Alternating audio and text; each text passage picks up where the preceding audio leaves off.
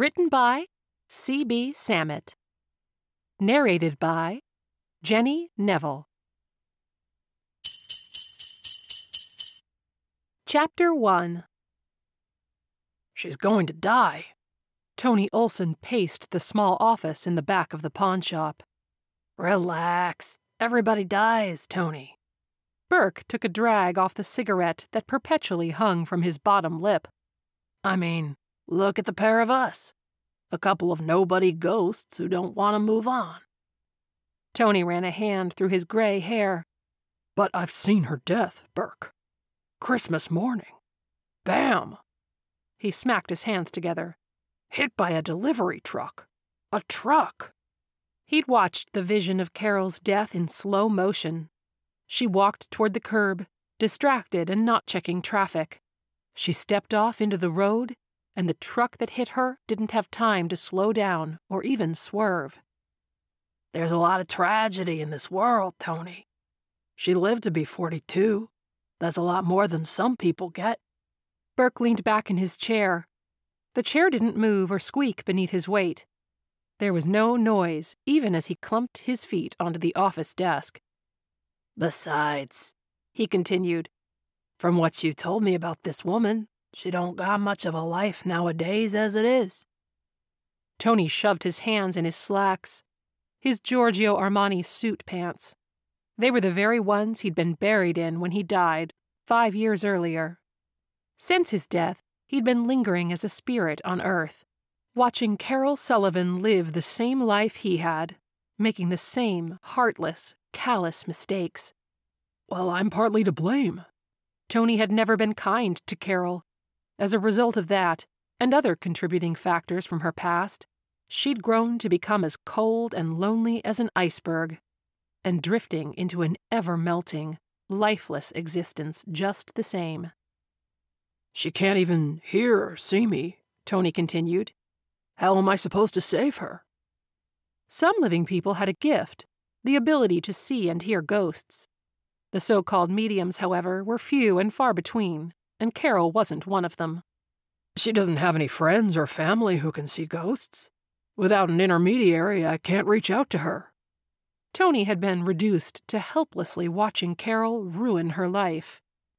Burke pulled the cigarette out of his mouth and flicked non existent ashes off the glowing orange tip. He stared at one of the walls of the pawn shop, where yellow paint was peeling from the plaster. Tony kept quiet. He recognized Burke's narrow eyed gaze of contemplation. Tony hadn't known Burke in life. He'd never have associated with a pawn shop owner. In death, however, Burke had become his best friend. Tony wished he'd taken the time to make friendships like this while he'd still been alive. But being a ghost was all about languishing in regret, wasn't it? Burke scratched at his large belly. Savor, eh? Might be a way to, but not in the way you think. I'll try anything. Tony couldn't stomach the thought of a talented young surgeon like Carol dying before she recognized the opportunity to turn her life around. You can make your case to the Christmas spirits. The Christmas spirits? They really exist? Of course. Some spirits can be seen by whomever they choose at certain times of the year. The Christmas trio is already real busy this time of year, though. They're probably booked up. Some people start booking them a year in advance. They could help me help Carol. They don't save lives, they save souls. Tony's posture slumped. He wanted both for Carol her life and her soul. And Christmas was only a week away. What were the chances his Christmas miracle could be worked into the busy schedules of the Christmas spirits? But he had to try. For Carol. So, is it like in the stories? Tony asked. The Christmas spirits can save a soul in one night? He sighed as he considered this. They'd have to. She wouldn't have very long to live after that. He pressed the palms of his hands into his eyes, trying to block out the future image he'd seen of Carol getting hit by a truck on Christmas morning. In his vision, she'd distractedly walked to the curb. She'd stepped over the edge. The end. Burke shrugged, though his eyes looked at Tony with compassion. At least she'd have salvation. She can set things in motion to give her peace as a spirit. She wouldn't be lingering, like you, stuck wondering how to fix the cold hearted deeds of her life. Okay, I'll do it. Where can I find the Christmas spirits? This close to Christmas? They ought to be at Michigan Avenue, under the Chicago Christmas tree. Chapter 2 Carol Sullivan carried a coffee in one hand and her phone in the other as she walked to the surgical intensive care unit. Her heels clicked on the linoleum floor, and her white coat gleamed beneath the fluorescent lights. On her phone, she checked her email and her schedule. She had an OR case at 10 a.m. and maybe an hour break before two more surgeries. When Carol reached the workstation, her physician assistant, John Baker, stood abruptly from where he'd been sitting. He banged his knee against the countertop in his haste and rubbed it as he stammered. Uh, good morning, Dr. Sullivan.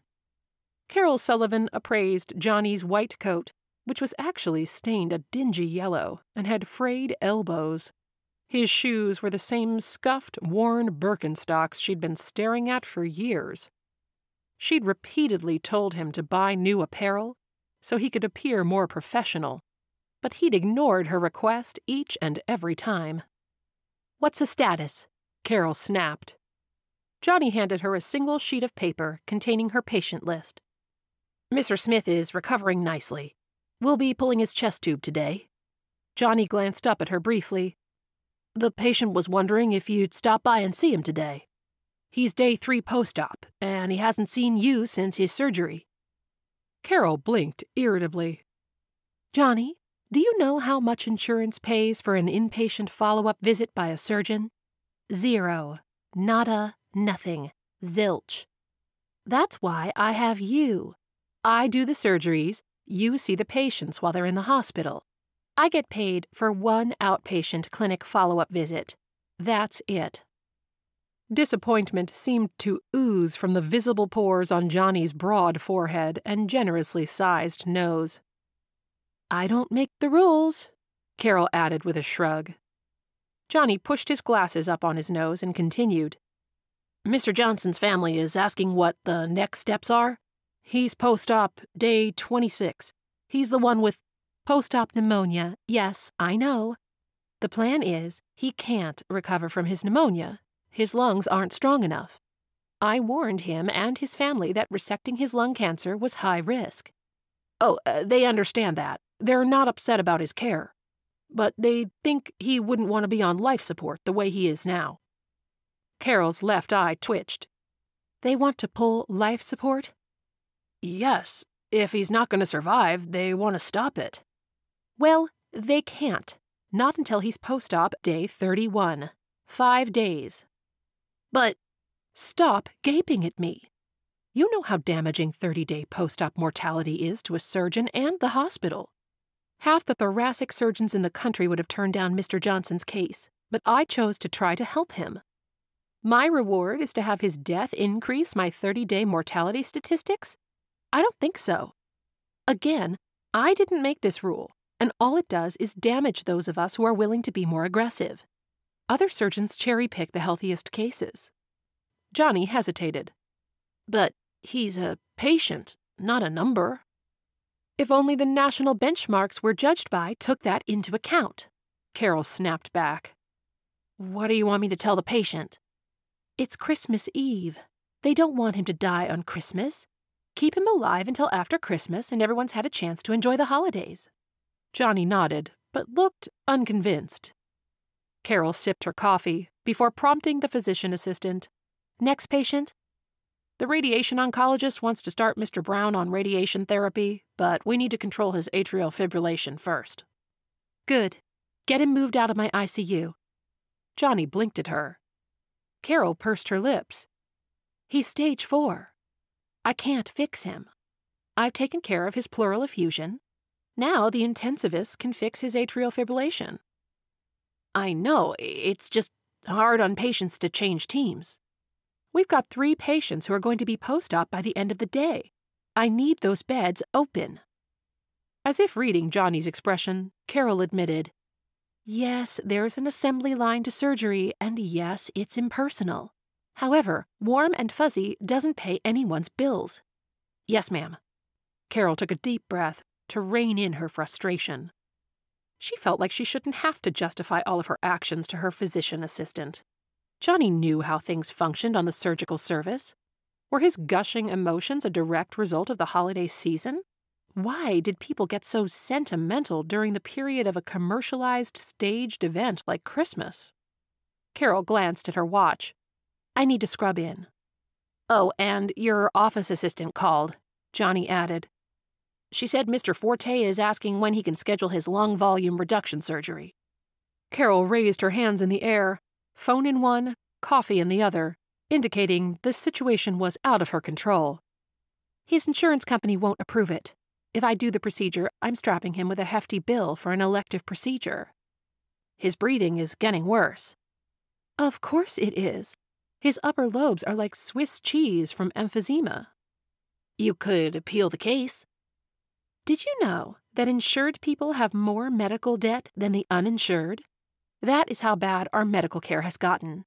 It's unfathomable. People can't even afford deductibles. Deductibles. She shook her head and left, stalking off toward the OR. Carol finished her preoperative documentation. While waiting for the OR to open itself to her cases, she walked back to her office in the Surgical Services Building. Carol! She stiffened and startled at the chipper voice. Then, with a scowl, she turned around. Hello, Mel. Without invitation, Carol's younger sister wrapped her arms around the surgeon and squeezed. Melanie was always cheerful, and Carol suspected pediatricians were all secretly dosed with antidepressants to maintain this state of perpetual happiness. How else could they be able to be all smiles around snot nosed children when their reimbursement rates were no better than those of a family doctor or even a physician assistant? Mel beamed with a smile. Did you get my text? Are you coming to our Christmas Eve party? Carol gestured at her scrubs. Surgeries. Melanie's smile remained undeterred. She wore a red knit cap, with short curls protruding from beneath the edges. Her sweater was covered with tiny reindeer, set against a backdrop of green and red stripes. You should come by when you're done. Pike and I will be up late celebrating. Carol fought not to roll her eyes. Celebrating? That meant gift giving, junk food eating, and excessive drinking. All the commercialized pursuits merchants wanted people to indulge in during the Christmas period. Spend, spend, spend. Meanwhile, credit card debt across the country soared. Melanie shook her head. All work and no play. Carol pursed her lips. The need for surgeries doesn't take a break just because the rest of the country does. Melanie gave Carol a look of pity, even as she maintained her dimpled smile. Except it doesn't always have to be you doing the surgery, Carol, every holiday, every year. Before Carol could protest, Melanie kissed her sister's cheek and bounded away down the hall, back toward the elevator. Carol finished her final surgery for the day, a thoracic aortic aneurysm repair, and returned to the physician locker room it was only four in the afternoon, but most people had already left early since it was Christmas Eve. Apparently, most other people were like her sister, Melanie, and wanted to spend the holidays with their families. Carol didn't share that same sentimentality. Her life was entirely career oriented. She'd chosen between her career and a relationship, and while she felt she shouldn't have had to choose, she hadn't worked relentlessly every day and gotten into one of the best surgical residencies in the country just to give it all up for a man. Even if he'd been the man, the one for her in a way she knew she'd never have again. So, why bother after that? Carol hadn't. She hadn't dated since Liam left. She changed out of her scrubs and back into her skirt suit. When she closed her locker, the lights above flickered. Odd. The metal doors of the lockers rattled on their hinges. Carol backed away from them. Was this an earthquake? Here in Chicago? Except the rest of the room wasn't shaking. Only the lockers shimmied. She felt her heart race. Was she hallucinating? She had drunk three cups of coffee today on a still empty stomach. Suddenly, a man emerged from one end of the room. Carol gasped. In a hoarse voice, she croaked, This is the women's locker room. Hello, Carol. You look well. Carol squinted her eyes. Tony? She blinked. Tony, you. you can't be here. Carol knew Tony, or had known Tony. They'd worked together. He'd died about five years earlier from a heart attack. Carol had even gone to his funeral. Well, she'd sent flowers, or maybe it was a wreath? It didn't matter. She'd had too many cases. She couldn't have canceled them all for the funeral of a coworker. The figure of Carol's long deceased thoracic surgery partner took a step forward. It's me, Carol. I'm here. But only for tonight. Just this once. Tony walked closer. He appeared to Carol just as she had remembered him, in his seventies, with a full head of gray hair. However, he looked pale. No, more than pale. More than deathly pale. In fact, he looked downright transparent. This isn't possible, Carol stammered, taking a step back from him. It is possible.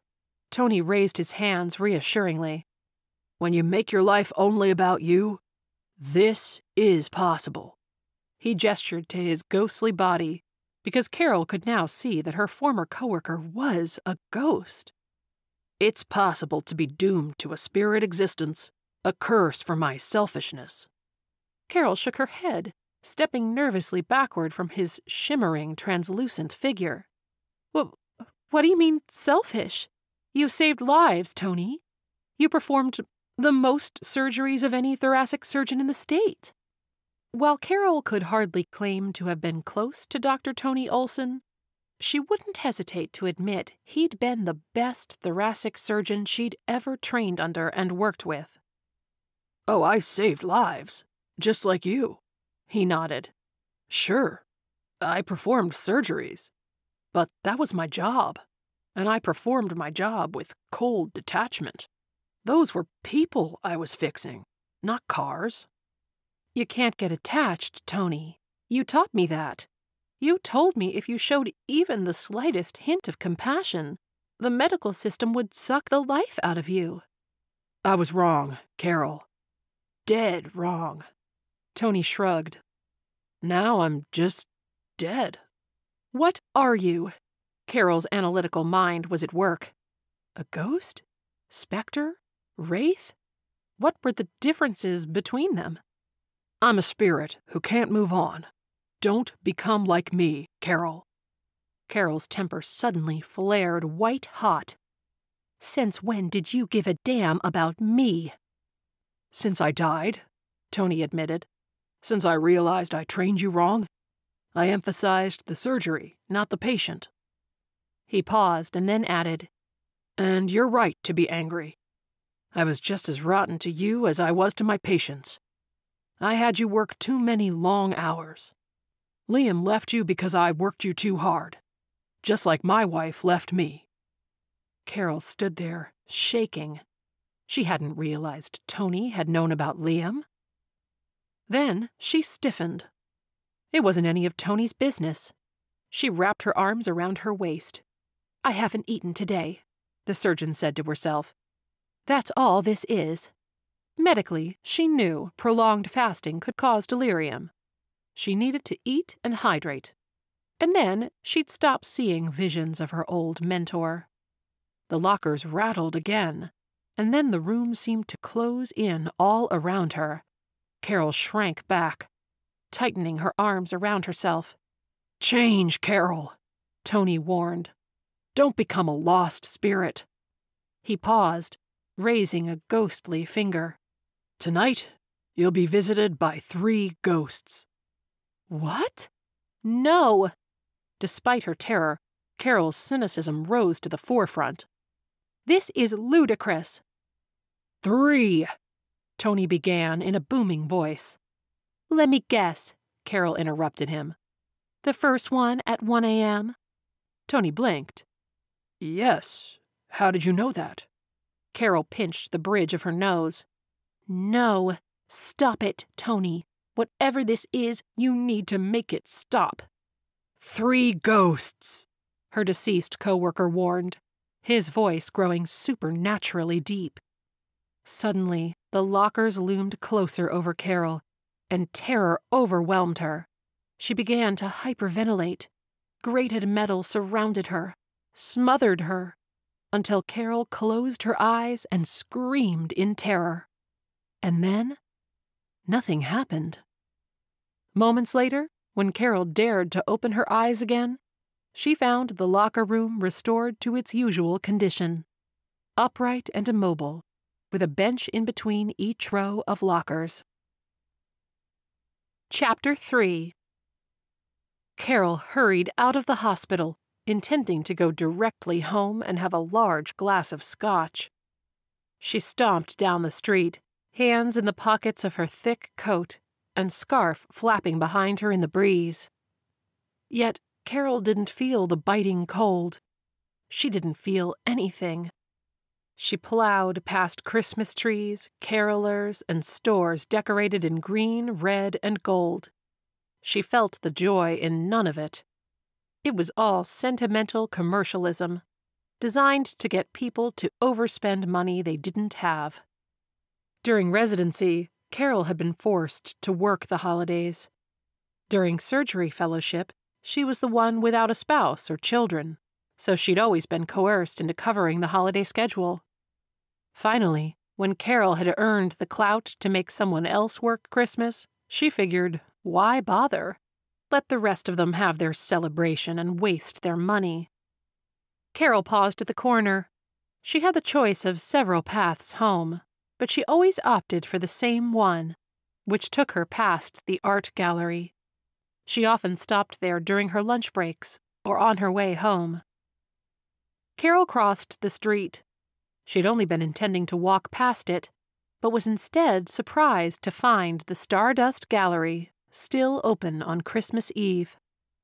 She walked inside, and the scent of cinnamon wafted toward her with the warm air. Carol took a familiar path, directly to her favorite painting. It was one of three horses, black, white, and brown, running through the frothy surf on a beach.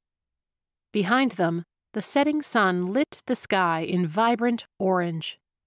Something about the image of the glistening beach, wide ocean, and expansive horizon captured a sense of freedom. The horses were free to run, free from riders, free from the confines of a fence, and free from obligation. Carol looked down at the signature in the bottom left corner L. Sharon, do you like it? A man's voice sounded in her ear. I love it. Carol surprised herself with that confession. She turned to look at the man who'd asked her, standing beside her on the gallery floor. Liam! Her eyes widened. Oh my gosh! Liam! Without even thinking about it, Carol reached out and embraced the artist. In the few seconds the hug lasted, the last conversation they'd had flooded into her mind. Stiffening, Carol stepped back, regaining her composure and straightening her scarf. She was angry with herself. She'd had no right to hug Liam. That scare in the locker room must have affected her judgment. How are you, Carol? Liam grinned. He looked magnificent, wearing a sleekly tailored tuxedo. He was clean shaven and his wavy dark hair was brushed neatly back. Carol stared at him. Had it really been five years? Liam looked every bit as good as the day he'd left her. His voice was the same soothing baritone. I'm good. Carol cleared her throat. Really good. She turned back to the painting. Your work has always been breathtaking, Liam. Thank you. He chuckled softly. I'm glad you like it. We're having a silent auction, a fundraiser for the Children's Hospital. Carol shook her head at him with a smile. Liam always gave so much of his hard work to charity. She remembered the many hours he'd spent painting and picking colors. He agonized over every brushstroke, but in the end, his creations always seemed magical. Since you like it so much, Liam added, it would be remiss of me not to mention that it's for sale. Carol said nothing. Most days, she always found time to stop by the Stardust Gallery to see this particular painting. She'd never seen Liam here before, though. He didn't involve himself in direct sale of his own work, except, of course, for fundraisers. Carol stared at the painting. She'd grown so accustomed to seeing Liam's art, to having this small piece of him so close to where she worked, that the thought someone else might buy it annoyed her. She already considered the painting hers. The colors are so vibrant, Carol said, staring at the painting. The brushstrokes capture the powerful muscles of the horses. But she couldn't buy it. It was impractical. The colors matched nothing in her home, and she didn't have room for the enormity of it in any case. Liam had once told her he sought to create masterpieces that people would design a room around, rather than vice versa. This was such a painting, a masterpiece. Did you ever start riding again? Liam asked. Still staring at the painting, Carol answered, No. She hadn't ridden horses since medical school. It had been a brief passion and a hobby of hers once, made possible by a friend who had let her ride his horses at no cost to her. But the 80 hour work weeks during residency left no room for passions or hobbies. Carol stood there stiffly. Although she was so close to Liam, standing with their shoulders nearly touching, she still felt like a great canyon divided them, a gorge filled with memories, regrets, and heartache. She glanced down at his left hand. There was no ring, but that didn't mean he was single. Even if he was, it certainly did nothing to bridge the gaping divide between them. A stocky, balding man came and stood on the other side of her and appraised the painting. It's not for sale, Carol snapped. The man turned, then looked up at her, eyes wide. Then, nervously, he moved to the next painting. Are you intending on buying it? Liam asked, with an amused tone. No. She paused. I don't know. He can't have it. Liam shook his head, expressing the disappointment she knew all too well. He stuck his hands into his pant pockets. Same old Carol. You can't bring yourself to indulge in the beauty and enjoyment of life. Carol opened her mouth to criticize Liam, but his soft, sad eyes stole the fight from her. Instead, she felt the corners of her lips curl. Same old Liam, always trying to revive love in the world, one masterpiece at a time. He gave her a smile that had Carol instantly wanting to crawl back into his arms. Instead, she pulled her coat tighter around her and snapped. I should go.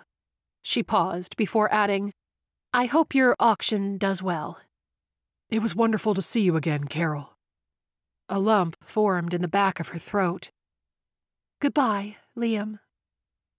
A moment later, she stumbled back out onto the street, where it was the cold that stung her eyes. She stomped down the sidewalk, arms wrapped around herself. How could her emotions for Liam still be so strong after five years? How could he stand there and talk so civilly after everything that had happened?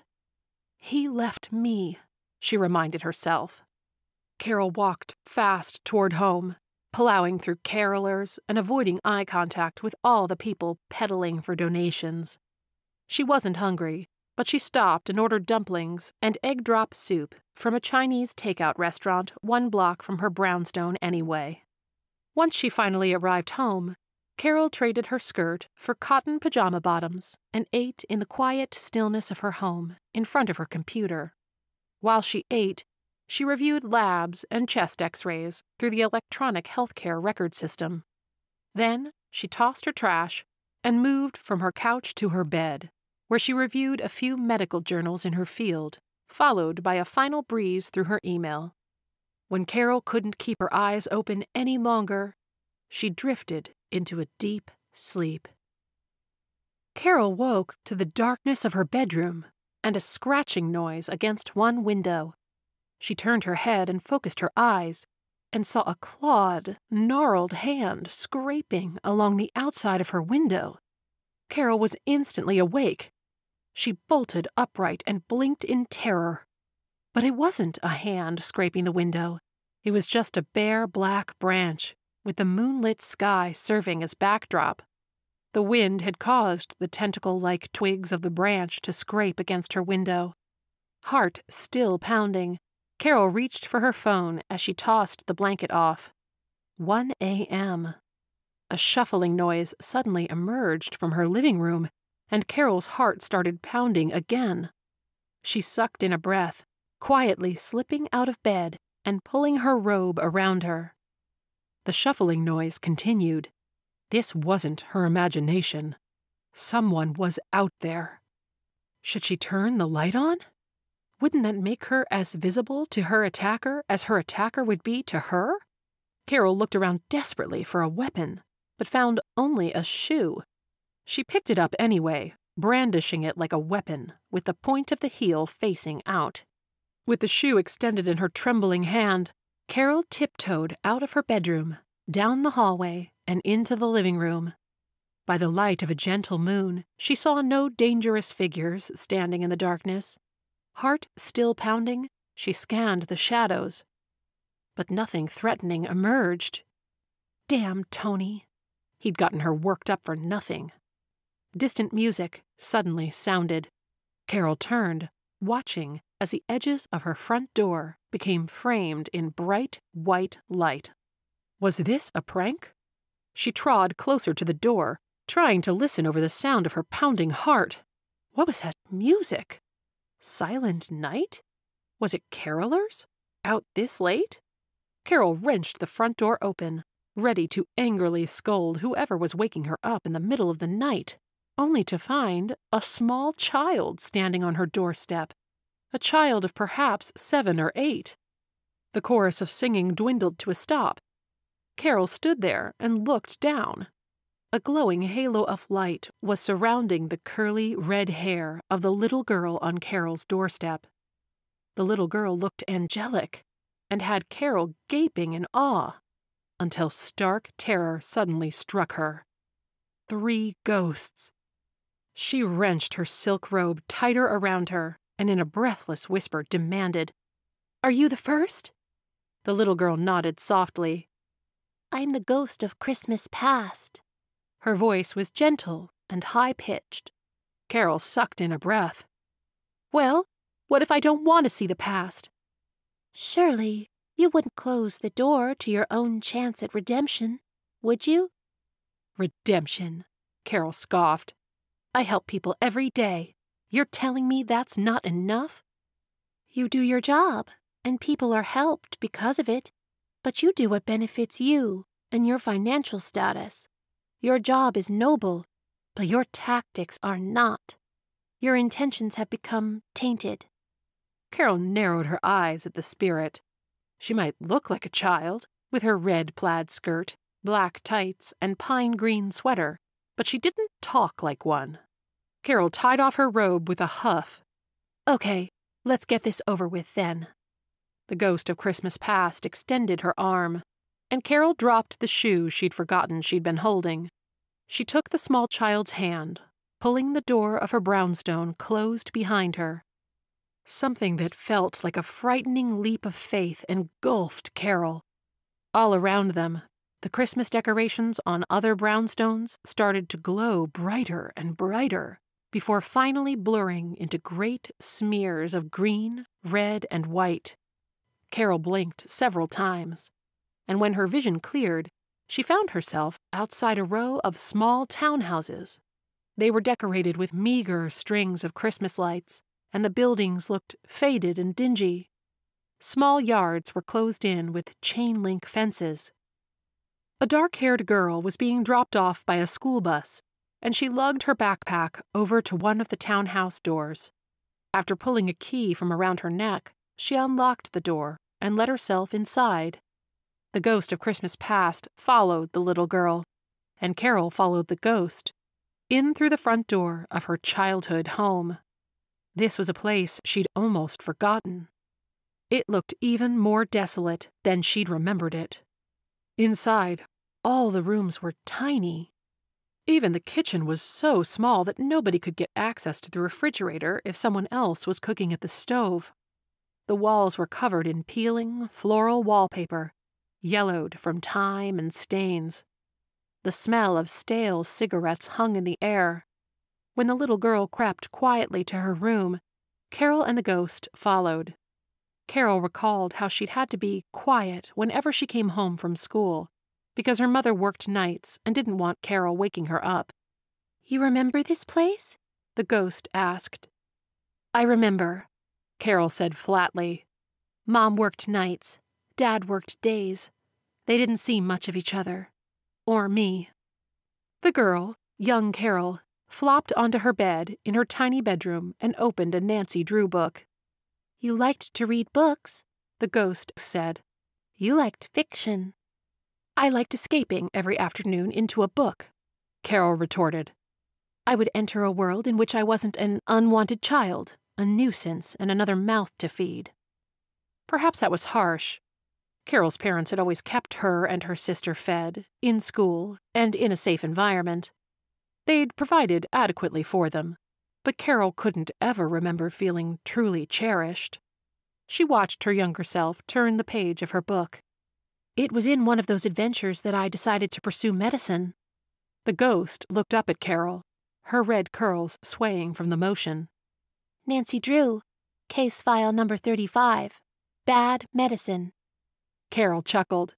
That's right. It was after reading that book that Carol had solidified how she'd wanted to help people, to better society. She'd planned to make a difference and be someone worthy of note, someone worthy of the affection of others, someone who was more than just an annoying kid with a key around their neck and an overactive imagination. Carol did the math in her head. Her sister Melanie would still have been at daycare during the time of this memory. When Melanie was old enough for grade school, she became Carol's responsibility. A parent when they had no parents present. Carol had cooked for her and her sister and made sure Melanie did her homework. When Carol had turned 13, her parents, who'd already lived practically separate lives beneath the same roof, finally divorced. Despite her parents' unconcealed disinterest in each other, the separation had still been a shock to young Carol. Melanie, five years younger, had taken it hard as well, and Carol had felt she'd have to put on a front of toughness for Melanie's sake. Carol had spent her teen years only seeing her father on occasional weekends and holidays, all of which she'd had to arrange herself, since her parents only spoke to each other through their respective lawyers. After Carol had finally left for college, many years after this memory had taken place, she hadn't bothered coming back home, except to see Melanie. What happened to that child? The one who dreamed of making the world a better place? The ghost blinked up at Carol. Reality, Carol replied, coldly. Chapter 4 The house aged before Carol's eyes the wallpaper peeling further and becoming a dingier yellow, while the furniture shifted and changed as it was replaced over the years. She then found herself watching a 20 year old version of herself sneak into the house, carrying two glasses of eggnog and a gold, foil wrapped present under her arm. With the stealth of a mouse, 20 year old Carol had slipped into Melanie's room. Carol had been away at college at the time of this memory, but remembered returning on this occasion to spend the holiday with her family, or rather, Melanie, since her mother was working. Carol! Shh! Merry Christmas! Carol handed Melanie a glass of eggnog and the wrapped gift. It's after midnight, so I thought we'd celebrate together now. Why didn't you give me this earlier tonight? when we did a family gift exchange. Melanie hugged her sister. Besides, you already gave me a gift. Young Carol took a sip of eggnog as she sat beside Melanie on the bed. Those were cheap decoy earrings, she explained. This is the real gift. I can't give it to you in front of Mom. You know how she gets all huffy when we spend too much money on frivolous things. Oh, something frivolous? Melanie held the box next to her ear and shook it with eager anticipation.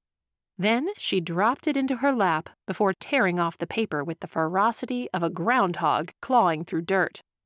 When she opened the gift, Melanie gasped. It's the dress! She leapt out of bed and held the gown against her body. Mom said I couldn't have it. Well, Mom didn't buy it. But it was expensive. Shh, Carol shrugged. I've been tutoring organic chemistry. Besides, you look gorgeous in it, and I know you want to go to prom. Present day Carol hugged herself as she watched the memory replay in front of her. She did look beautiful that night. You doted on her, like your mother never doted on you, the ghost responded. I sure did, Carol sighed. Probably spoiled her rotten. Except Carol knew Melanie was anything but rotten and she'd gone on to become a pediatrician adored by both children and their parents. Carol was so proud of her. But Melanie gave too much of herself. People took advantage, both of her time and her money. Melanie would never retire the way she earned so little and spent so much, mostly on other people. Her sister's husband, a graphic designer, wasn't any more frugal than Melanie but his heart was just as big and sappy as hers. Then the room twisted and contorted around them again until it finally morphed into a completely different location. This was an office, the walls decorated with numerous bookshelves, all stuffed with medical textbooks. Diplomas and plaques hung from the walls. This was no Christmas memory. Carol saw herself at the age of 24, with her long hair flowing down her back. She was sitting in the office across from a stony faced man behind a desk. Carol's stomach clenched. She remembered this man, this surgeon, all too well. He'd been in charge of the medical student surgical rotation, and he'd had the cruelest reputation for pimping students and belittling them on rounds. Surviving his wrath had been like surviving a hazing Dr. Sullivan, the stony faced man began, looking down at 24 year old Carol over his long, curved nose. You don't want to be a surgeon. I do, sir, Carol replied. I'm here to ask you for a letter of recommendation for my ERAS, because that's exactly what I want to be. Carol was applying for residency, and she needed a letter from a surgeon endorsing her qualifications for a surgical specialty. Women sometimes think they want to specialize in surgery. The doctor's tone was coolly patronizing. But they truly don't. They don't? A four week surgical rotation in medical school doesn't open your eyes to the demands of a surgeon. There are no work hour restrictions in the real world. Women pick surgery, and then they'll either change courses or back out completely when they decide it's too difficult or they want a family. A family? What business was it of this man if Carol wanted a family? She didn't even know if she wanted one. How could he know? But the man continued. It's a waste of time to fill a surgical residency spot with a woman who won't have the commitment to complete it, or the fortitude to become a dedicated surgeon. Carol watched the eyes of her younger self grow wider and her cheeks flush. She recalled being absolutely speechless at this humiliating encounter, a clear demonstration of sexual discrimination. This man had known nothing of Carol's fortitude or dedication, but he had decided neither were sufficient based on her gender alone. Present day Carol paced the room and crossed her arms, as a past version of herself sat in silent shock. Arrogant prick, Carol hissed. Save the spots for the men. They're better for the job, she sneered angrily. How many women did this monster turn away from surgical residencies with this speech? The old surgeon folded his hands on his desk. Why don't you take some time to think it over? You could consider pediatrics. Or, with your excellent grades, you could go to a dermatology residency. I wish I'd had the courage to give that jerk a piece of my mind, Carol said, watching her 24 year old self squirm in the chair. But you didn't, the ghost of Christmas past reminded her. And he did write you that letter. Damn right he did. Carol blew out a huff of air. You showed him, the little red headed ghost added. Yes, I did. You became the dedicated, ruthless surgeon, working long hours and forsaking a family that he didn't think you capable of. Carol shot the ghost a sharp look. Before she could reply, the stuffy office, three sizes too small for the surgeon's ego, collapsed in on itself. A new room coalesced around them a workroom. Carol instantly recognized the room, with computer stations lining two walls and a couch against another. In the middle of the room sat three rectangular plastic tables, each connected end to end to form a single long table. This had been the workroom for surgical residents, and the night Carol and the ghost of Christmas past were visiting was Christmas Eve, some ten years earlier. The tables were covered in plastic tablecloths, printed with bright poinsettias. The food was spread across the table, a mixture of essential Christmas nutrition, like ham, sweet potatoes, deviled eggs, bread rolls, baked mac and cheese, stuffing, turkey, and more, all brought in by the residents and their spouses. A half dozen or so surgical residents were in the room, some working on computers, and others playing computer games. A younger Carol entered the room, wearing scrubs and looking worn. Her face brightened at the sight of the Christmas colors and the array of food. She walked to one end of the table and started making herself up a plate. Clay was sitting in the workroom, too, with one foot propped up, stretching between the couch and the table and blocking young Carol's path. She scowled at her male counterpart. He was a tall, broad shouldered, blond man. Looking around the room, Carol noticed none of the other female surgeons were in the room. Clay always timed his harassment for when other women weren't around. Only those who brought food get to dine, Clay said. I brought food, Carol retorted. Oh, yeah? What? The pecan pie. Carol stepped over his leg. That was yours? Wasn't bad.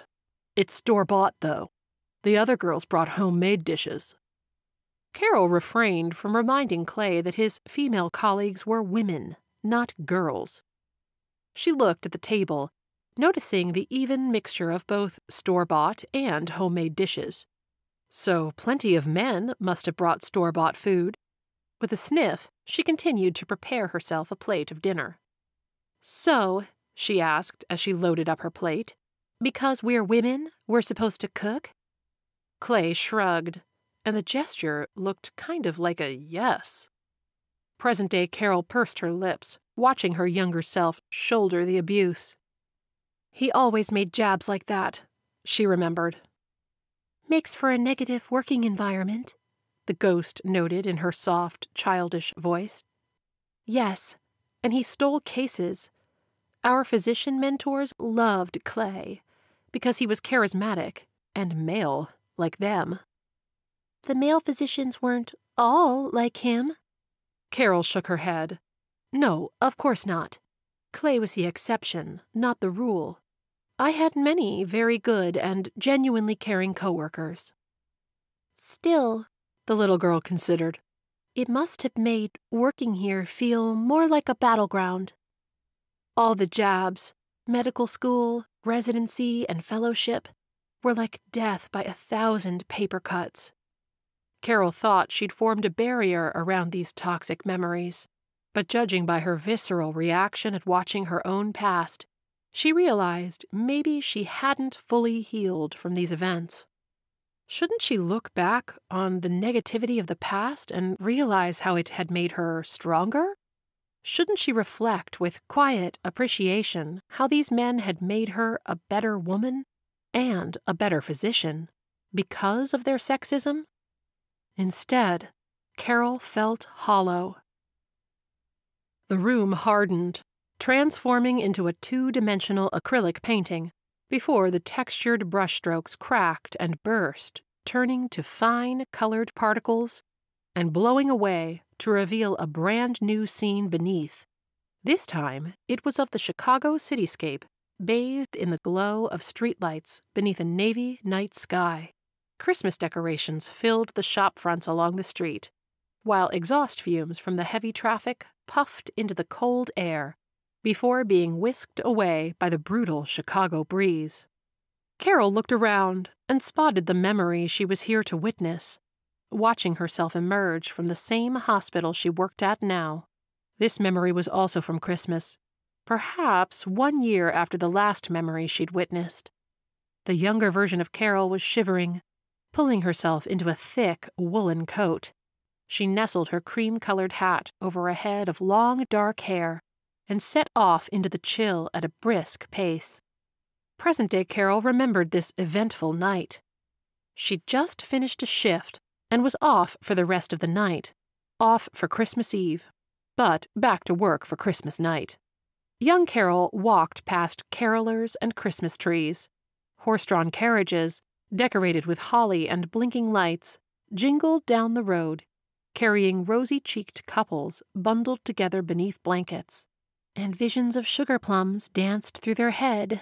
Magic had been in the air this night. It was palpable, Carol heard one of her favorite Christmas songs, Baby It's Cold Outside. She turned to see the source of the music. A man was standing on the street corner, painting the enormous Christmas tree at Millennium Park on a large canvas. He'd set himself up with an easel and palette, and the work he was producing was exquisite. The artist had caught every detail of the glowing lights, reminiscent of a Thomas Kinkade painting but still distinctly different to the man who'd been described as the painter of light. Younger Carol approached the artist. It looks beautiful, she said to the backside of the painter, but I'm surprised your paint isn't frozen stiff. She looked at his palette. The man turned around and smiled at her. She'd expected the painter to be someone older, but the man appeared to be only a few years older than she'd been at the time. Thank you, the artist rattled his pockets. I keep a few tubes of acrylic in here to keep them from solidifying. Carol shivered. It's a little chilly to be painting outside, isn't it? The artist rinsed his brush. Actually, this is the warmest Christmas Eve Chicago has had in a decade. I couldn't miss the opportunity. He gestured toward her scrubs. Are you coming from work or going there? Done with work. That's a blessing. Was it? Carol never really understood that phrase, and done with work only meant until the next shift. Well, your tree is fantastic. Stay warm. Carol turned to leave. It's almost done, the artist rushed to say. Wouldn't you like to wait and see the finished product? These scrubs are paper thin, she shivered. I need to get warm. Here. The artist pulled hand warmers from his pockets and gave them to her. Give me ten minutes to finish. If you do, I'll buy you a hot meal in a warm restaurant. Carol opened her mouth, about to object to this presumptuous dinner invitation from a complete stranger. But then he smiled. I'm Liam. Ugh, that smile. Young or present day version, it didn't matter. Neither Carol had ever seen something so warm and welcoming as Liam's smile. It was, in a word, Christmas. His smile was a radiant, festive gift. Carol, she smiled in return. As Liam resumed painting, Carol noticed his expensive shoes and the fine leather case for his painting supplies. This was no poor street artist, yet he'd still chosen to paint outdoors on this cold Christmas Eve. When Liam finished, he let Carol take a photo of him beside his masterpiece, a masterpiece which he instantly dismissed as merely mediocre. She shook her head. So far, the man's only flaw was his perfectionism. Together, they packed his belongings into the leather luggage bag and secured the finished painting in a tote bag. Liam turned off the Christmas music playing on his phone and slid the device into his pocket. Then he insisted they ride to a nearby restaurant in one of the horse drawn carriages. Carol balked at the overpriced impracticality. I've never ridden in one, Liam retorted. And it's Christmas Eve. Relax, it'll be fun. Liam pulled her into one of the carriages. His rough, textured hands were warm. Carol then watched her younger self get carried away in the carriage, sharing a blanket with a stranger who'd smelled like cinnamon and nutmeg. We talked until the restaurant closed, Carol told the child ghost, standing there wistfully. I shared everything with that man, and I'd never shared myself with anyone before. And no one since he'd left. You still love him, the ghost said, matter of factly. Carol sniffed and bundled her robe tighter around her body. She couldn't feel the frigid chill from the night of this memory, but she felt cold nonetheless. Chapter 5 The buildings and storefronts, adorned with their Christmas lights, blurred into a hazy Monet watercolor before finally washing away completely to reveal bright white lights. As Carol blinked at the offending, harsh light, an operating room came into focus around her, towering white walls and a sterile glow surrounding them. Beams of light concentrated on the exposed abdomen of a patient in the middle of surgery. Carol watched a version of herself, this one in full sterile attire of gown, gloves, cap, and mask, assist a robust older surgeon with a colon resection. Present day Carol's brain worked out from when this memory originated. She was observing herself as a resident, not long after having met Liam. Young Carol was no longer a medical student who watched from a distance or held retractors. She was directly contributing to this operation, moving intestines and suctioning blood. When the surgery eventually finished, Carol would be allowed to suture the abdomen shut. The particular surgeon she'd been operating alongside that night was harsh. His hands moved fast, with the practice of many years. He barked orders at Carol, and if she didn't move fast enough, he'd inadvertently poke her with a needle and then blame her for it. Carol remembered that her first surgeries with this surgeon had landed her three needle sticks and a series of blood tests in the weeks that followed all to make sure she hadn't contracted any diseases from the patients. Every surgical resident, male and female, knew the hazard of working with this surgeon, but everyone was too afraid to report his behavior. In hindsight, Carol suspected that if a half dozen surgical residents had banded together to report him, the medical center would have been forced to investigate. Maybe not, though, if the whistleblowers had all been women. I hated him, Carol seethed as her chill from earlier was replaced by heated anger. Her blood boiled as she stood once again in the same OR as this egotistical, maniacal surgeon, watching her terrified younger self try to help while avoiding injury. Carol knew this painful trip down memory lane was supposed to be a lesson, so she preempted the ghost of Christmas past by clarifying I've never been and never will be anything like him. How many times had this surgeon brought her to tears by making her feel inferior? Too slow, too sloppy. How many times had he mumbled, Damn worthless surgeon, when they'd worked together? Carol shook with rage at the memory of it. You're not like him, the ghost agreed. Not yet. The operating room faded to black. A faint glow of green and red lit an entirely different room. A Christmas tree came into focus. Carol looked around and instantly recognized the room. It was the apartment she'd once shared with Liam. The small apartment had a tiny gas fireplace, lit specially for the occasion, and the tree stood in one corner. Above the fireplace, the television was set to play Christmas music on repeat. It wasn't Christmas exactly, Carol recalled. She'd had to work December 23rd to December 27th, so she and Liam were celebrating on December 28th instead. Her younger self danced around the room wearing a low cut red velvet pajama set. Liam wore candy cane covered flannel pajama pants and nothing else. I love it. I love it. Carol, Santa Carol in those pajamas, exclaimed happily. She gazed on the Christmas present Liam had given her a stunning painting of human lungs with Liam's signature artistic flair. He'd rendered the airway branches to look like the boughs of a tree, and the image was vividly lifelike, with blue and green leaves and breathtaking depth and shadow. The timing of the gift had coincided with her acceptance into a cardiothoracic surgery fellowship. Tears spilled down Carol's cheeks, both past Carol and present day Carol. Liam took the Santa adorned Carol into his arms and kissed her passionately. He'd been so passionate. His hands worked their way under her shirt as they kissed their way to the couch. She ran her hands along his bare chest as he laughed and tumbled on top of her. I love you, Liam.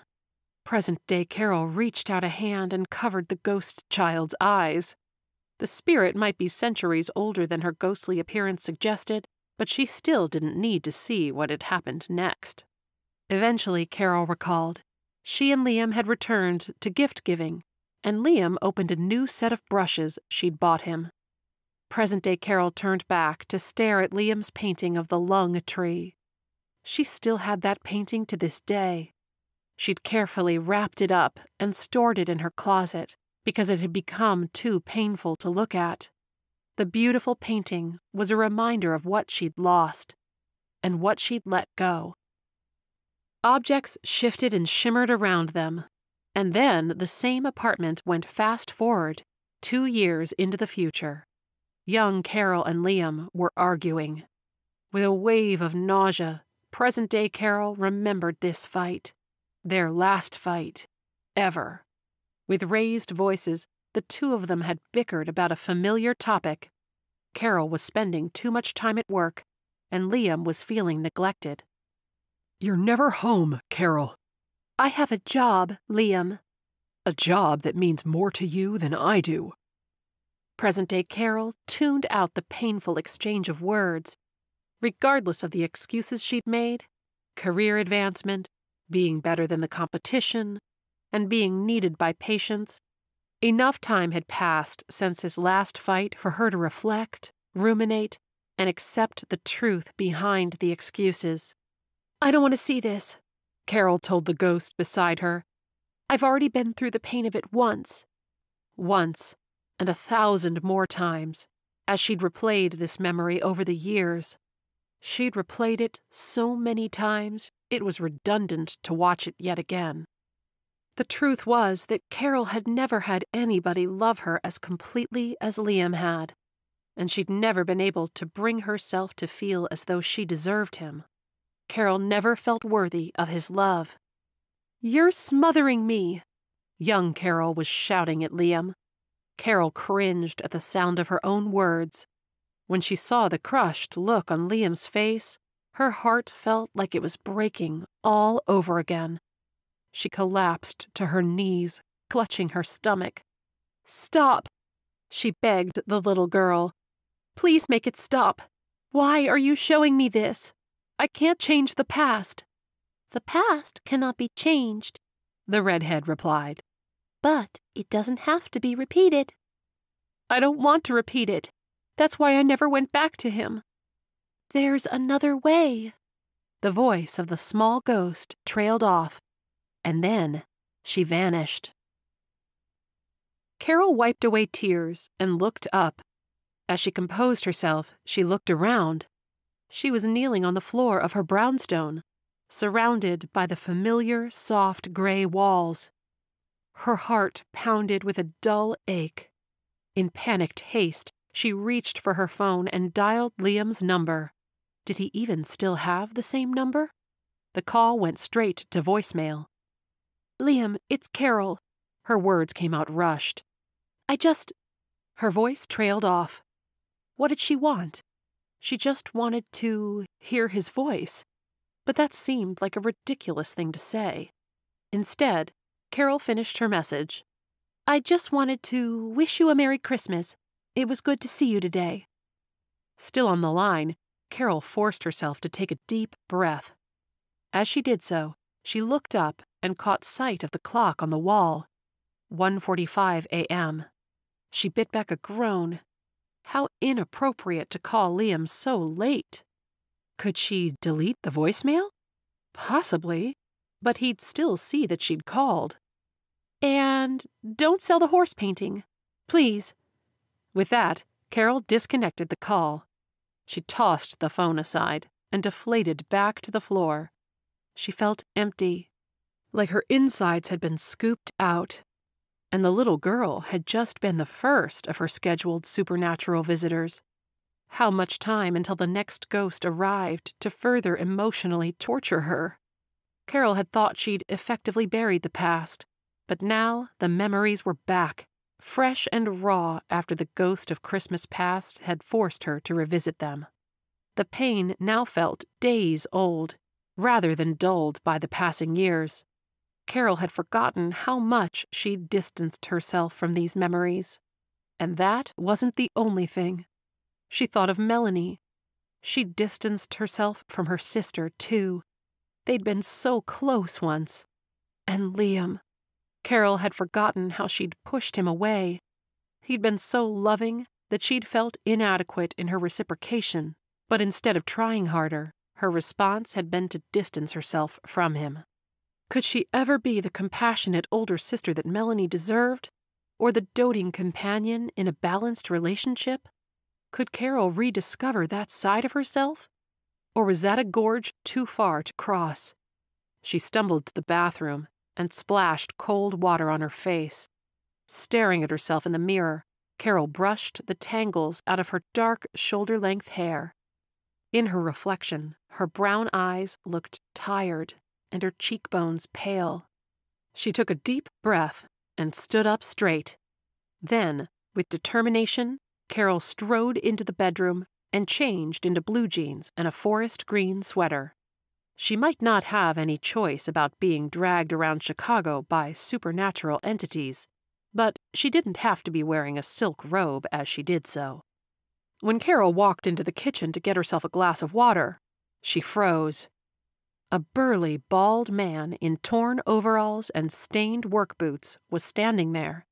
Were it not for his green sweater, with Rudolph sporting a flashing red nose on it, Carol might have thought this new arrival was a burglar. The ghostly stranger grinned at her, and she relaxed somewhat. His smile was encased in a shaggy beard of gray, wiry hair, but it was warm and genuine. I'm the ghost of Christmas present. You look more like a janitor, she responded coolly. I'm Carol, your next victim. The ghost gave a hearty laugh, one that seemed to reverberate throughout the room. The warmth of his mirth even spread through Carol, dispelling the cold clinging to her after watching her wretched past. Shall we begin? The spirit's voice was a deep baritone. Lead the way, Carol answered, devoid of enthusiasm. The ghost of Christmas present led Carol through a doorway, one that had materialized where her refrigerator had once been. Carol found herself standing in a tiny apartment decorated festively with a small tree and a string of lights stretched across the border between the walls and the ceiling. A bald headed boy sat in front of the tree, beneath which lay a solitary present. Carol walked forward, confident that the hairless boy couldn't see or hear her. She observed the paleness of his skin and the dark bruises on his arms. Cancer? Unfortunately, yes the ghost of Christmas present replied. Leukemia. Whose son is he? Corey, let's do this. The answer came in the sound of a cheerful voice. Carol's physician assistant, Johnny, walked into the room wearing blue and white snowflake decorated cotton pajamas and black slippers. Carol glanced at the shoes by the door to the apartment. They were the same worn loafers she'd been annoyed at day after day, hanging beneath the familiar elbow shredded white coat of her physician assistant. Johnny's wife entered the room, looking tired, but with a warm smile on her face at seeing her son by the tree. Open it, Corey. The boy tore into the present. Only one? Carol asked. The ghost didn't reply. An Xbox. Corey's face lit with a smile. He stopped before opening the box. But you said it would cost too much because we needed to cover the cost of chemo. Johnny rubbed the top of his head. I got a bonus. Carol choked at the lie. A lump of coal hit her stomach like a rock dropping into a well. She didn't set Johnny's salary, that was done by the hospital, but she knew his wages were in the bottom third of the national average. Someone with his level of experience and dedication ought to make a lot more. Carol glanced at the ghost of Christmas present. I can talk to administration, argue for a raise. Her voice was a dry whisper. You said it yourself, the ghost responded. The insured have the highest amount of medical debt. Johnny earns enough that he simultaneously doesn't qualify for medical financial assistance, but also can't cover the large deductible and out of pocket expenses for his son's treatment. Carol gulped dryly. I'll talk to administration about getting him a bonus, too. The ghost nodded, stroking his beard. The boy's mother came back into the small living room and handed Corey a mug of hot chocolate. Thanks, Mom. Thanks for the gift. I'm going to set it up. As Corey went to the television, Johnny and his wife, Penny, moved to the kitchen. Carol tried to remember if she'd ever actually met Penny. No, she decided. She knew the name from Johnny mentioning her. But Penny had never come to see her husband at work, at least, not while Carol had been around. You didn't get a bonus, Penny snapped at him. I know, Johnny nodded. I just wanted to make him happy. Ugh, Penny groaned. It's that horrible woman you work for. You need to find a better job. Johnny kept his voice low. We've been over this. Corey's best medical care is here in Chicago and I can't work anywhere else in this city with my non compete clause. Penny lowered her head and stepped into his arms. I know. I'm sorry. Let's just make this the best Christmas we can for Corey. Goosebumps prickled Carol's arms. Why the best? Had they been told this would be his last? Is Corey going to be okay?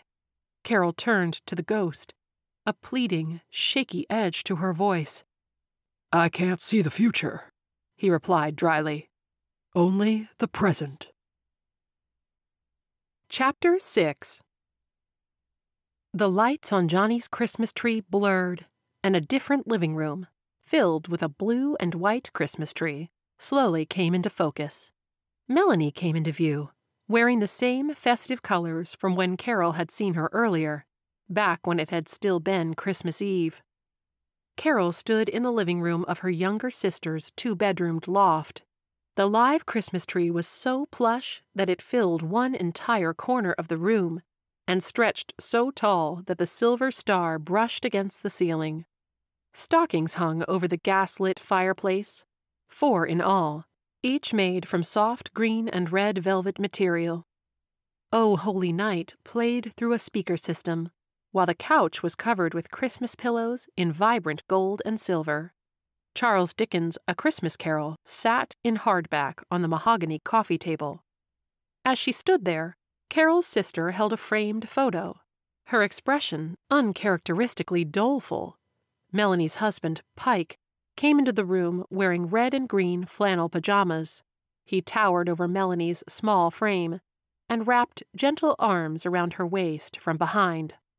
Pike looked over Melanie's shoulder. The party was great. I'm sorry your sister didn't show. It was great, Melanie sighed. I was hoping to give Carol her gift. Carol peered closer at the framed photo in Melanie's hands. A Christmas long ago was captured beneath the glass. In the picture, Carol was 16 and had one arm slung over an 11 year old Melanie. They both wore Santa hats and broad smiles.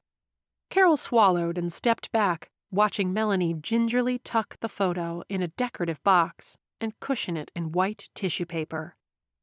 I wanted to tell her about. Melanie's voice trailed off, and her hand lowered to her abdomen. Carol looked back at the four stockings over the fireplace one for Melanie, one for Pike, and one each for.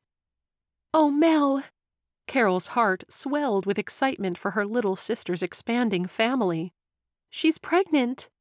When Carol looked to the ghost for confirmation, he nodded. Twins? He laughed heartily. Yes, fortune has fallen upon them double fold. Carol smiled. Thank you for showing me this, Spirit. I want to be part of their lives. I want to be the best aunt they'll ever have. You'll be the only aunt they'll ever have. His eyes twinkled. She nudged him with her elbow playfully, surprised that she could physically touch this supernatural entity. You know what I mean. With a swell of excitement, Carol looked back at her sister. A beeping of machines sounded, intruding Carol's pleasant thoughts. Around her and the ghost of Christmas present, Melanie's apartment faded, replaced by a sterile ICU room. The beeping came from a monitor by a patient's bed, which showed a steady heartbeat and stable blood pressure. The ventilator supplied timed, incremental breaths through a breathing tube. Mr. Johnson. Carol let out an anguished sigh. She looked at the ghost, whose bald head seemed to reflect the bright fluorescent lights of the ICU room. I did what I could, Carol told him. I tried to help him. He tolerated the surgery, but his lungs were too weak to come off the ventilator. Then he contracted pneumonia. The ghost of Christmas present dipped his head. And his crime of failing to recover should doom him to being on life support? Which delays his inevitable death? He isn't in pain, she replied. Mr. Johnson was comfortable on sedatives. The large ghost motioned toward two women in the room, who sat in chairs watching over their loved one. Their drooping eyes and anguished expressions spoke volumes, a visual demonstration as to the extent of their suffering. Carol raked her fingernails through her hair. It's not my fault. Surgeons are graded based on their 30 day mortality rate. If I pull the plug, I'm affecting my numbers, which in the future will only hurt other patients who. She stopped when she heard the quiet sobs of Mr. Johnson's wife. Carol paced the room.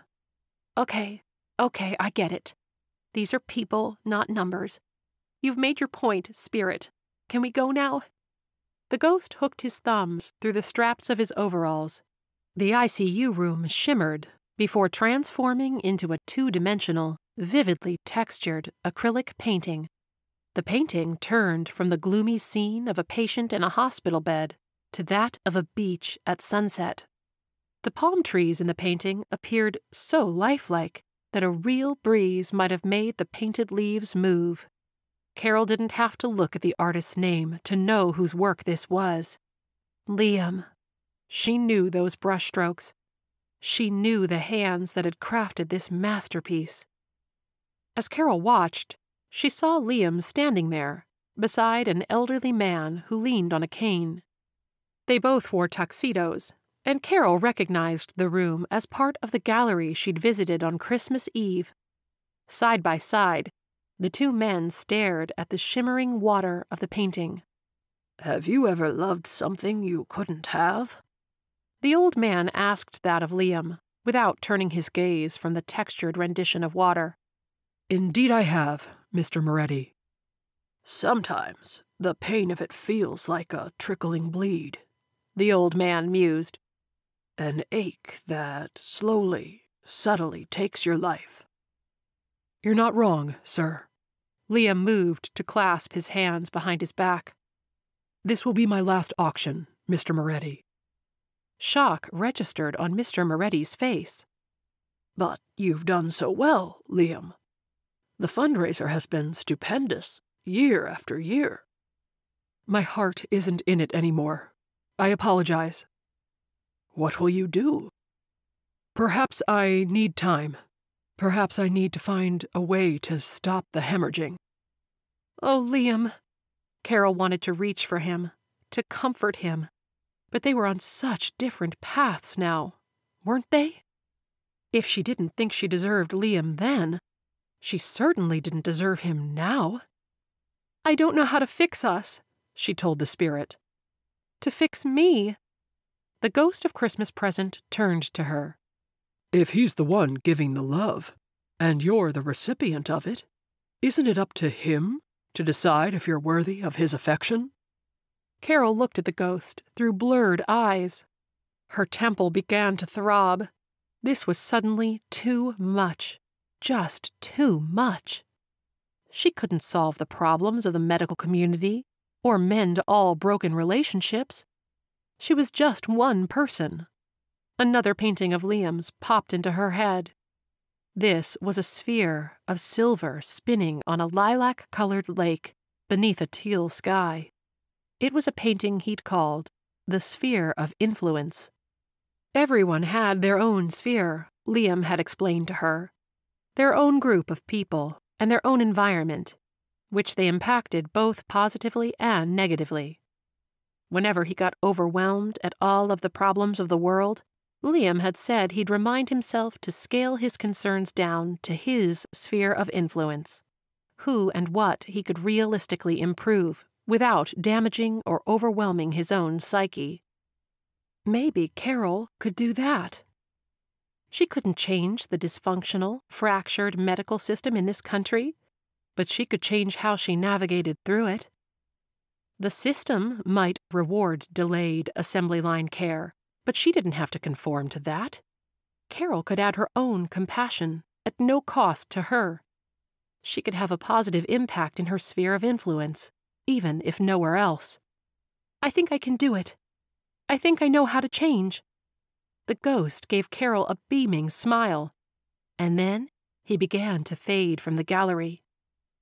Then you're already on your way to success. His voice lingered after him. Thank you for showing me the present. The ghost dipped his head as he vanished. Carol found herself alone in the art gallery. She stepped forward, wandering through the gallery until she vaguely noticed the scenery change around her. She blinked, shaking her head and looking around the new location. She found herself in an apartment again, standing in a dark, unwelcoming living room. In one corner, a towering figure, utterly unmoving and wearing a long, dark hood. A chill ran down her spine and Carol shuddered at the sight of the ghost of Christmas future, Christmas yet to come. He might as well be death himself, or perhaps he was, because death was the inevitable outcome awaiting everyone. Carol looked around the apartment again, fearing whose it might be, and what terrible future this ghost intended to show her. Then she saw them Johnny and his wife, crying together as they held a photograph of Corey in their hands. Finally, Carol recognized the tiny apartment. It was theirs, but devoid of Christmas decorations, unlike the last time she'd seen it. Carol's chest tightened. Surely this hadn't happened, or didn't have to happen. This was a version of the future, after all, and the future hadn't happened yet. Corey just needed appropriate and timely treatment. That was all. No, no, no! Carol spun away from the heartbreaking scene, only to find herself back on the cold, dark streets of Chicago. The winter snow fell from a bleak sky, heavy with dark clouds. She whirled around, back to face the ghost of Christmas yet to come. Stop it! That won't happen! I won't let it happen! The enormous, cloaked figure said nothing, he only pointed a long, bony finger. Carol's gaze followed the direction he indicated. She wiped the tears out of her eyes and focused on a scraggly, weather beaten man huddled in an oversized, stained coat. He was leaning against the wall of an abandoned storefront with an unshaven beard and dirt caked fingernails. His eyes looked distant and destitute. Two women stopped to stare at him before continuing on their walk. I heard he was a famous painter until he stopped painting one day, one of the women whispered to the other, her voice audible as the women passed where Carol was standing. He traded his brushes for booze until he went broke. Carol shook her head, turning back to the homeless man. She recognized him through the dark beard, although not as the man she'd seen on Christmas Eve. No, Carol breathed. Not Liam. She turned back to the ghost, desperately grabbing hold of his abundant black robes. She looked up into the void of his faceless black hood. It doesn't have to be this way, Carol pleaded. Let me fix it. I can save him, the way he saved me. Carol turned toward the homeless man, her Liam. She reached him, kneeling down to touch his bundled figure, and instead falling straight through the now intangible sidewalk. Carol screamed, plummeting into nothing. She fell through the darkness and then landed roughly on her hands and knees, kneeling in soft dirt. She struggled up to her feet, spinning around to face walls of dirt in every direction. Then she looked up at the rim of the six foot deep hole she'd fallen into. Looming down above her, she saw a tombstone Dr. Carol Sullivan. Above her on one side stood the large hooded figure. On the other side stood Johnny, dressed in a black suit with Penny beside him. High above, a gray sky hung heavy with clouds. Down in the pit, her own grave, Carol felt frigid with fear. Why did we come here? Penny asked, looming over Carol's grave. Somebody had to, Johnny replied. After all, she was my boss. She helped some people. As long as she was helping herself. Johnny didn't refute that. Instead, he looked down into the grave and murmured, Goodbye, Carol. Then the couple turned and walked away from her grave, leaving Carol alone in the darkness. She wasn't alone for long. Someone else approached. Carol looked up and saw her sister standing at the edge of the grave. She gulped. Melanie didn't look much older than she was now, which meant Carol turned and looked up at the looming black figure of Christmas yet to come. She longed to ask him, When is this supposed to happen? But she knew he wouldn't answer her, and in truth, she didn't need him to. She knew the answer. Soon, apparently. With tears in her eyes, Melanie dropped a single red rose into the grave. It fell, landing in the dirt at Carol's feet the petals scattering their crimson colors, in contrast to the black earth beneath them. When Melanie left, someone began shoveling dirt into the grave. Carol pressed herself against one wall of moist dirt as more cascaded down around her. Mel! she called up out of the grave. Mel, wait! Come back! Carol then turned toward the other side of the grave where the ghost of Christmas yet to come, and his shabby black cloak towered over her. She tried to claw her way out of the deep, dark hole, but she couldn't find purchase in the moist dirt. Wait, she cried. I know what I have to do. I know how to change. Please. She slipped and fell, landing on her back with a thud. The dirt kept coming, shovel load after shovel load, scooped up with the grating of metal against dirt. No! Carol screamed. Then all fell silent.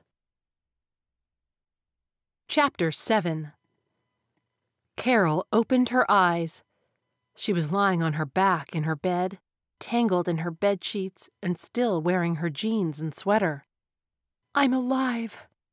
She scrambled to the edge of the bed and snatched her phone off the charging station. 6 a.m., December 25th. Christmas Day.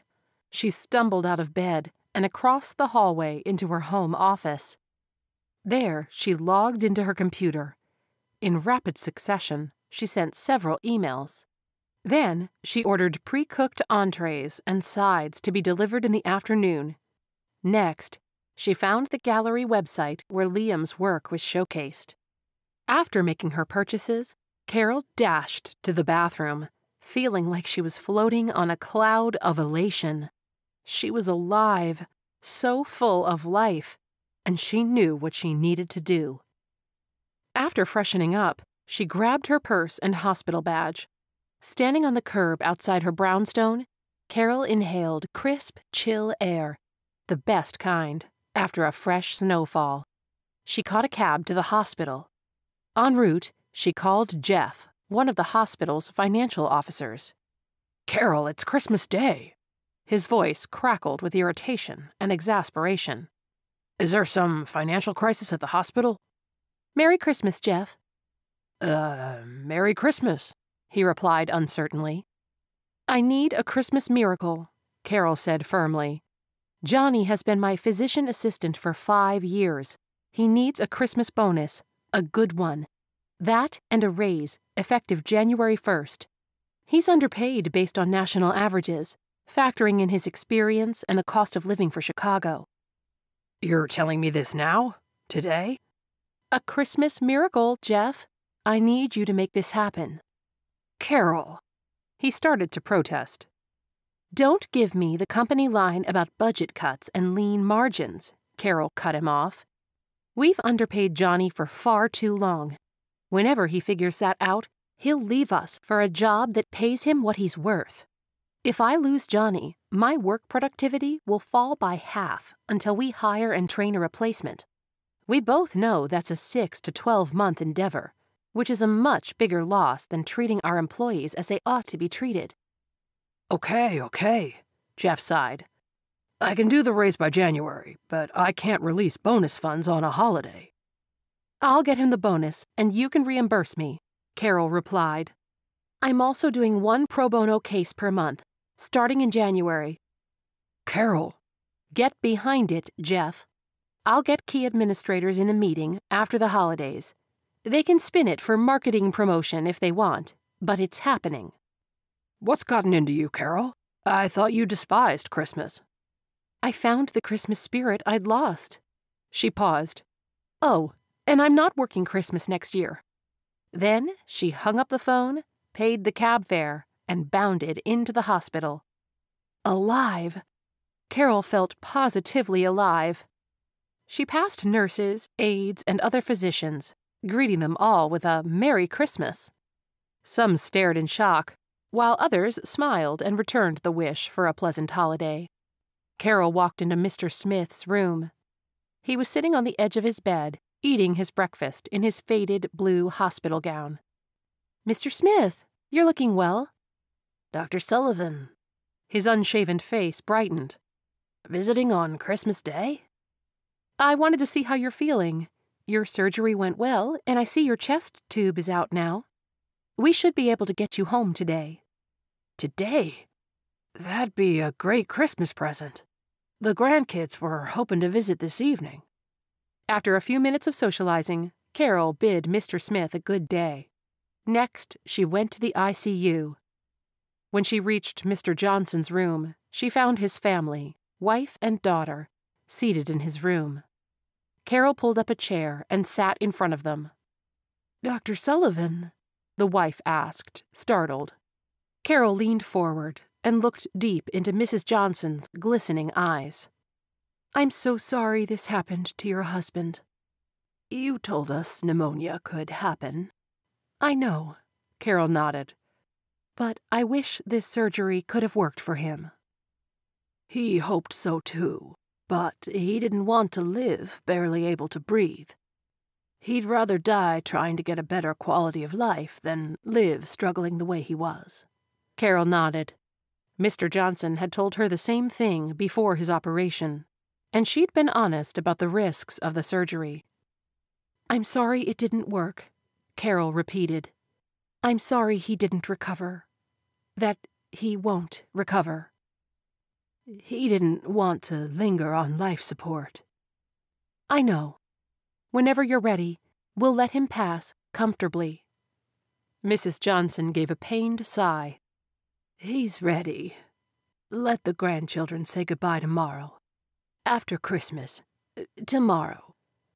Tomorrow, Carol echoed. I'll be here, and we'll do it together. After Carol left the hospital, she grabbed a cab and stopped briefly at a department store on the way to Johnny's apartment.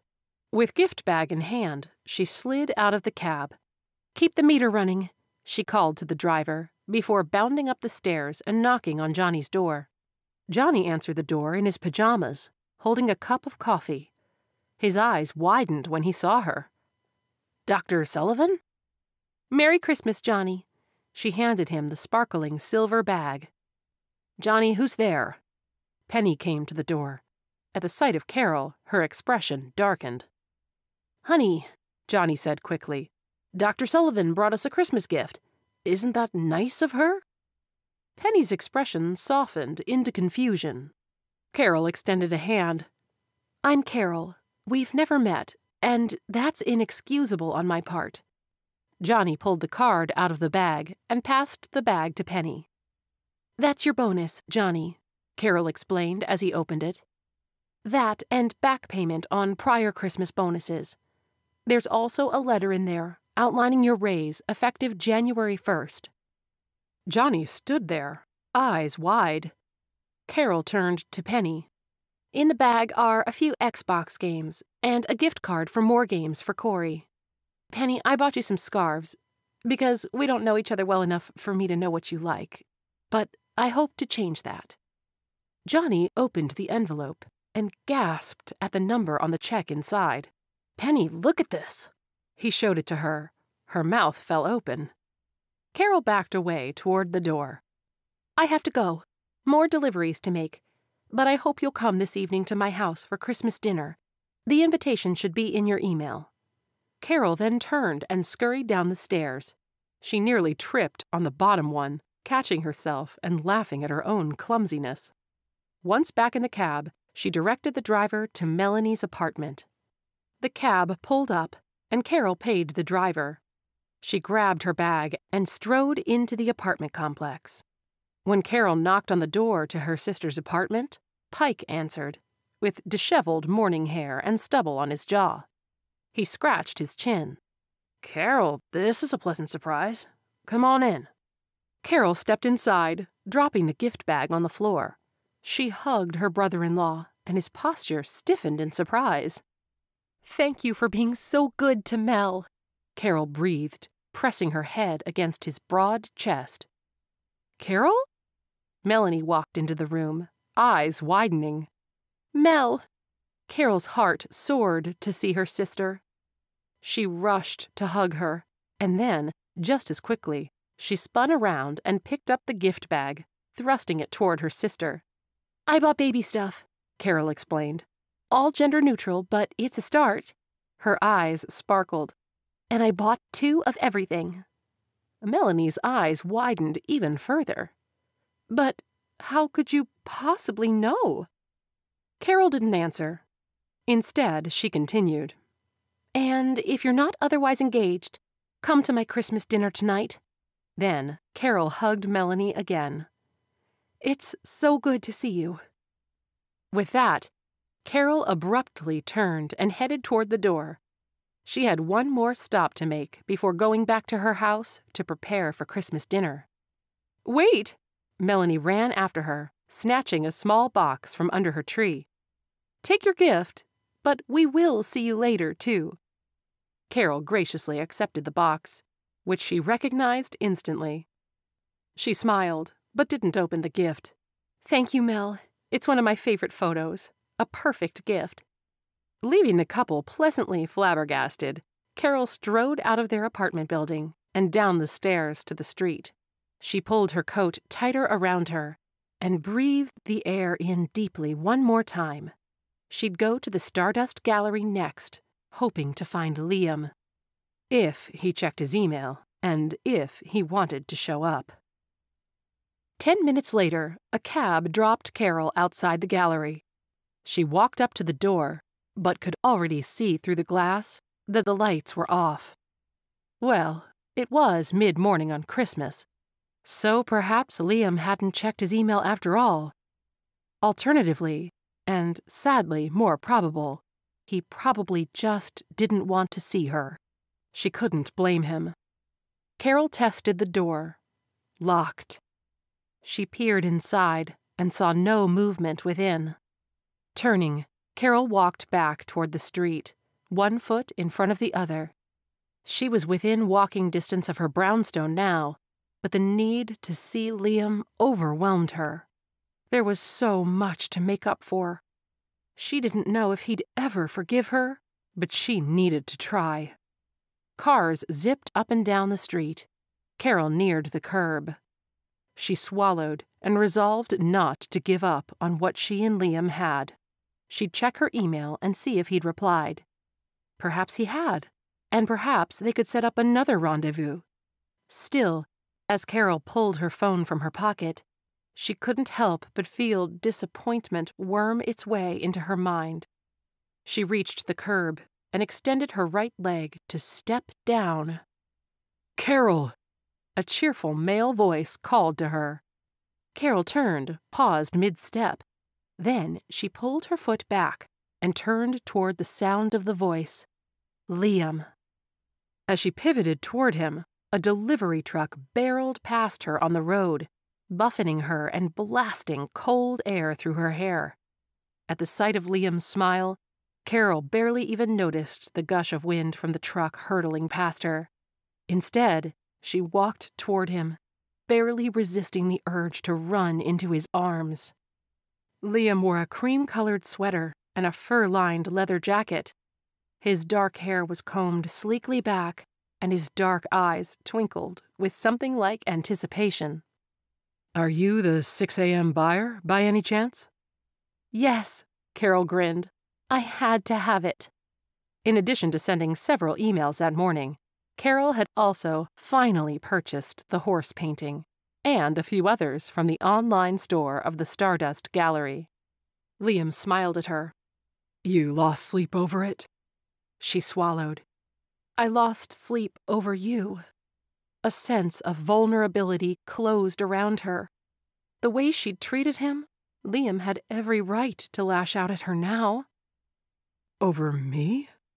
Over us, she amended, her voice shaky. I never should have let you go, Liam. Can you forgive me? His lips parted in a welcoming smile. Carol, I forgave you the moment I saw you desperate to open the gallery doors on Christmas morning. She leaned closer, arched up, and kissed him. The kiss was as wonderful as she'd remembered sweet and sensual, delicious and delightful, heavenly and homecoming. His kiss was Christmas, magical and miraculous. When they broke away, she no longer felt cold and her loneliness melted away. What changed? Liam asked, tucking her into his arms. Everything. Tony sat on Carol's counter, unseen by all, as he watched Christmas dinner unfold at her home. He'd only been granted that one moment to speak to her when Carol had seen him on Christmas Eve. That would never happen again, according to the Christmas spirits. Considering how badly he'd scared her, it was probably a good thing. Tonight, he couldn't help but grin at the sight of so much holiday cheer. Carol's dining room was filled with green, red, and gold decorations candles, miniature trees, and napkins. The table bowed beneath a Christmas turkey, green beans, mashed potatoes, buttered bread rolls, cranberry sauce, cornbread stuffing, and more. Tony wished he could smell all those delicious scents, mixed with the pumpkin pie baking in the oven. Melanie, Pike, and Penny were busy bringing serving spoons to the table. while Johnny poured wine into waiting glasses. Corey snuck a bread roll while no one was looking. In the kitchen, Liam and Carol couldn't keep their hands off each other. Carol couldn't stop smiling. Tony had never seen her so happy. Mission accomplished, Burke said, shimmering into manifestation beside Tony. Better than that, Tony grinned. She's happy, changed, and still alive. The spirit of Christmas wins again, thanks to the Christmas spirits. I got my Christmas miracle, Tony beamed. That you did. Tony looked down at his arms and legs. Whoa, what's happening? He was growing even more translucent than he already was. You're moving on, Tony. Burke smiled. Your spirit is at peace. Oh, great. Wait. Tony's eyes widened. What about you? I've got my own unfinished business. Don't worry about me. See you in the next world, Burke. See ya, Tony. One year later. Carol fluffed the pillows and poured the wine, excited for Liam's arrival home. He was finishing up at the gallery charity auction and was due back at any moment. His painting of the horses hung above the fireplace. To his delight, she'd redecorated her brownstone living room last January to match the colors and beauty of the painting. Rediscovering their love had happened so seamlessly that they were already married come springtime. They'd honeymooned in Alaska. Carol had then cut back her work hours to a normal full time load, and she now spent most weeknights and weekends with her husband. They sailed Lake Michigan, walked through the parks together, and kissed at every opportunity, as if they were teenagers instead of in their 40s. Melanie had given birth to two adorable twin girls, and soon after, Carol had begun making time to give the new mom a regular weekend break, babysitting for a few hours so Melanie could indulge in some much needed self care.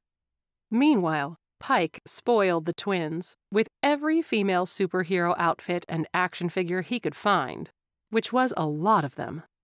Corey had finished cancer treatments, and his last bone marrow biopsy showed complete remission. Johnny and Penny had dinner with Carol and Liam once a month, Usually the men cooked, while Carol and Penny had long discussions over what wine paired best with the food. When Carol heard the door unlocking, she walked over to greet Liam. He entered with a flourish, spinning her in a circle with one hand wrapped around her waist and a hungry kiss pressed against her lips. He pulled her against him as he spun her around, still kissing her senseless. Liam, Carol said breathlessly between kisses. What's in your other hand?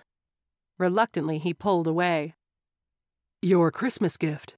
He pulled his arm behind his back. But I know when I give it to you, you're going to neglect me, so I had to get my affection in first.